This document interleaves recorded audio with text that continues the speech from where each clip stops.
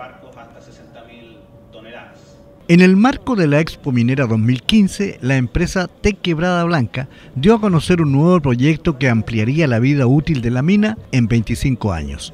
La iniciativa, denominada Quebrada Blanca Fase 2, está en etapa de participación ambiental comunitaria anticipada, PACA, proceso previo a la presentación del estudio de impacto ambiental. Es el proyecto de cobre más importante que tiene TEC en el mundo y por lo tanto en Chile, por lo tanto es un proyecto que tiene un impacto económico y social muy importante para la región de Tarapacá, eh, tanto por eh, la actividad directa que va a generar como por la indirecta.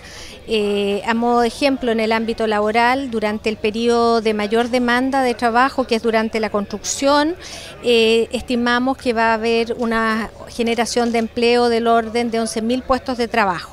La actividad de la minería ha generado dificultades con las comunidades de pueblos originarios en el desarrollo de los procesos productivos. Por eso estamos iniciando de manera anticipada y voluntaria este proceso que se llama PACA eh, y que nos va a permitir durante el mes de noviembre recorrer distintos lugares de la región, conversar con distintas comunidades, compartir lo que es el proyecto y recoger sus inquietudes y, y integrarlas al proyecto.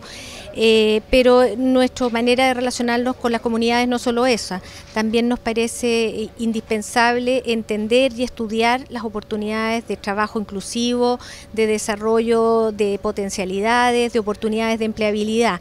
En cuanto a la mano de obra calificada y la oportunidad laboral en el sector, hay gestiones de educación que están orientadas a la minería. Y está mecánica automotriz y está la especialidad de construcciones metálicas. Ahora, eh, sí es un poco, un poco complicado, ¿no es cierto?, para que nuestros alumnos ingresen ahí por un proceso de selección que ellos tienen. Sin embargo, yo creo que eh, todos los años, ¿no es cierto?, hemos tenido un aumento, digamos, en nuestros alumnos de ingreso a estas empresas, ¿cierto?, contratistas de la minería.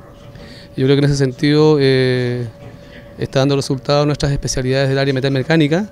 TEC y la Asociación de Industriales desarrollan un proyecto en este mismo campo.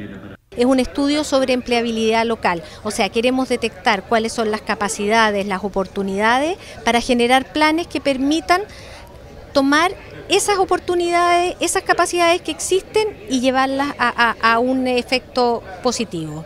Quebrada Blanca tiene sus faenas a 4.400 metros sobre el nivel del mar y a 240 kilómetros al sureste de Iquique y consideran el uso de agua salada en el proceso industrial. Nuestro compromiso es ocupar agua, 100% eh, agua de mar, eh, que en este caso va a ser agua desalada, em, con la intención, digamos, de que sea un proyecto eh, sustentable y que no generemos ningún efecto adverso en el medio ambiente.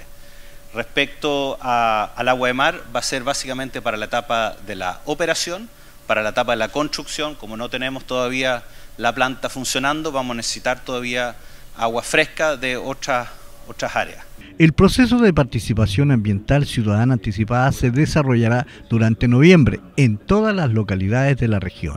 Iniciando un diálogo o un, acercamiento, un debido proceso para el diálogo de la consulta indígena del proyecto de Quebrada Blanca Fase 2.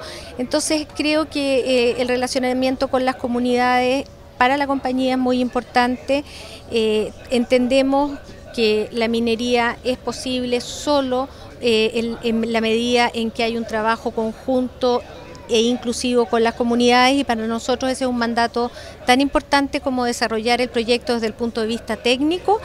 El proyecto Quebrada Blanca Fase 2 tiene una inversión de 5.600 millones de dólares, contratación de 11.000 puestos de trabajo en la construcción y 2.800 trabajadores en la operación y su estudio de impacto ambiental se presentaría en el segundo semestre del 2016. 28 mil millones de toneladas eh, por un periodo de 25 años más o menos.